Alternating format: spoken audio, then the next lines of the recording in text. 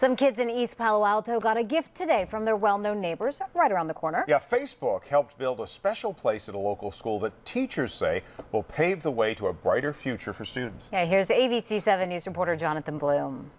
Driving a robot around with an iPad sure doesn't feel like schoolwork. Neither does building machines out of wooden blocks. Sometimes it just doesn't work.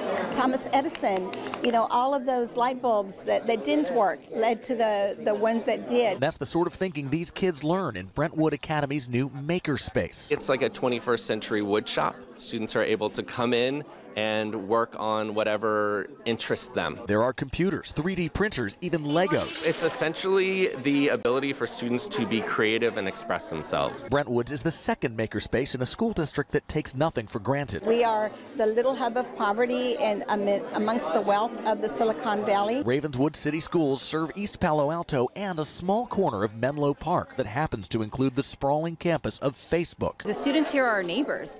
It's our responsibility and also it's part of our culture. It's who Mark Zuckerberg is. It's who we are as a company that we are creating strong partnerships with our neighbors. In 2013, Facebook's founder and his wife announced they would donate $120 million to Bay Area schools. They think facilities like this one, designed with help from Stanford, could level the playing field. Who knows? Maybe the founder of the next Facebook is right here in these rooms. Much of Facebook's contribution has been in the physical building blocks of the makerspace. They donated these MacBook Pro laptops and these tables and chairs. But Facebook's also donating something else time. Facebook folks come here and work with our students, do tutoring. Teachers have even visited the Facebook campus and learned to model their classrooms after Facebook's open workspaces for East Palo Alto's mayor. This is the community that I grew up in, so this means a, a lot to me. I was a student here. Now the students who follow will be better prepared. They can do more than the everyday job. They can work in Silicon Valley. In East Palo Alto, Jonathan Bloom, ABC 7 News.